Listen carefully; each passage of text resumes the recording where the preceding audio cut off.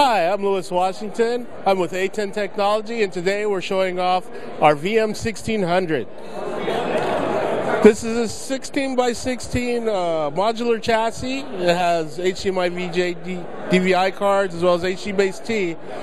What's great about this is it has multiple uses. You can use it in digital signage, you can run video walls, you can have independent screens running at the same time as well.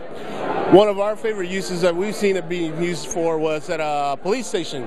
They use it in their control center, so they'll have multiple screens up and they'll show the weather on one screen, traffic on another, and different cameras from different areas of the city on multiple screens. And then when there's a problem, they'll make it into a video wall and use that picture for one big screen. It's an awesome product. Uh, it's an awesome product. Comes in at a fairly good price. And if you have any questions, you can contact your Almo rep or visit our website at aten-usa.com.